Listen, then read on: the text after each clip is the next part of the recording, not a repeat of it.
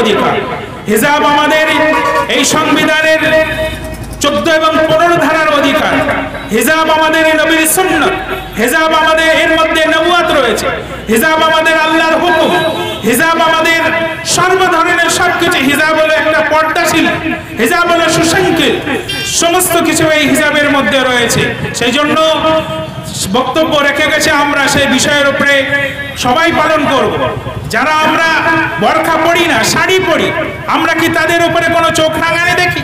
যারা পর্দা, বরখা পড়ে না, শাড়ি পরে না অন্না গায়ে দেয় না, তাদেরকে আমরা কোন চোখে দেখি? আমাদের একজন নারী নারী থেকে আমরা যতটুকু দূরে থাকার আমরা দূরে থাকি। কিন্তু আমরা তাদের, তাদেরকে আমরা কুচোখে দেখি না, খারাপ চোখে দেখি না, খারাপ মন্তব্য করি না।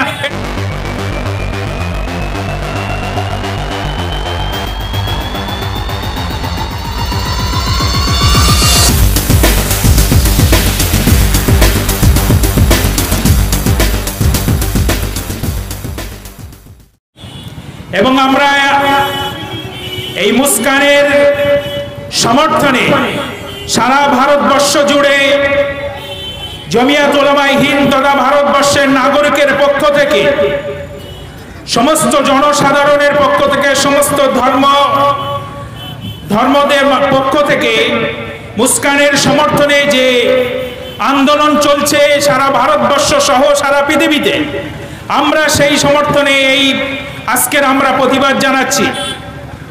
বন্ধুগণ,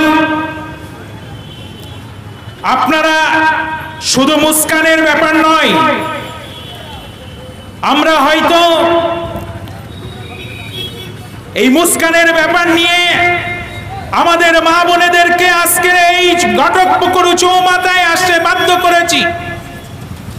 অনেক আমার বন্ধুরা, আমার সহকর্মীরা, তারা হয়তো বলবে যে মা বোনেরা তো পর্দার মধ্যে থাকার বিষয়, মা বোনেরা তো পর্দার মধ্যে থাকে, কিন্তু তারা আজকের কেন রাস্তায় নেমেছে?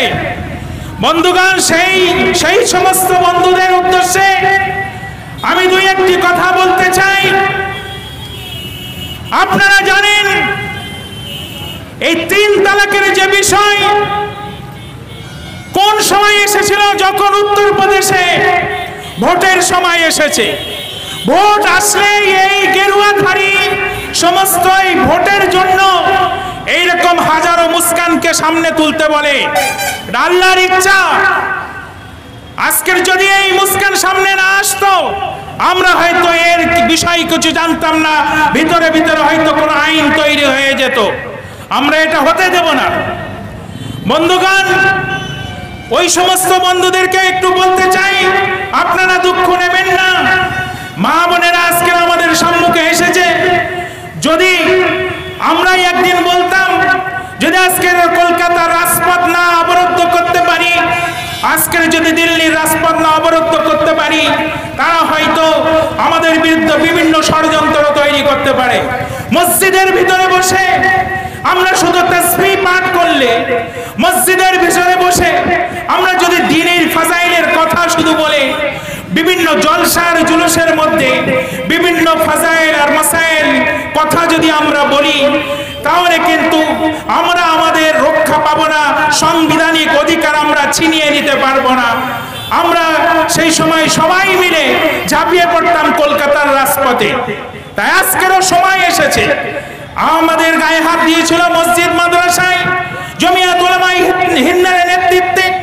কলকাতায় আমরা বিভিন্ন জায়গায় মানুষ নিয়ে বলেছিলাম যে, মাদ্রাসার মধ্যে সন্ত্রাসবাদী তৈরি হয় না মাদ্রাসার মধ্যে তিনি পঠন পাঠন তৈরি হয়।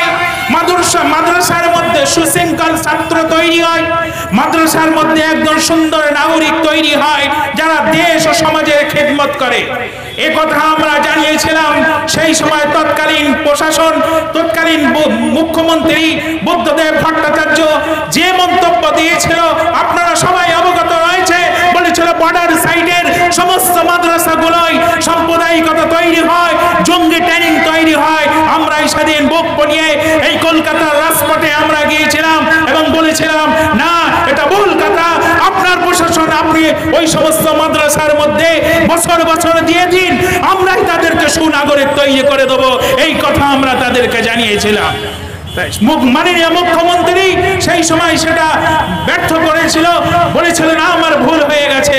বন্ধুগণ, আমরা খাগড়াগড়ের ঘটনা জানি। সমস্ত বিষয়ে এই জমিয়ত করেছে আমরা এখনও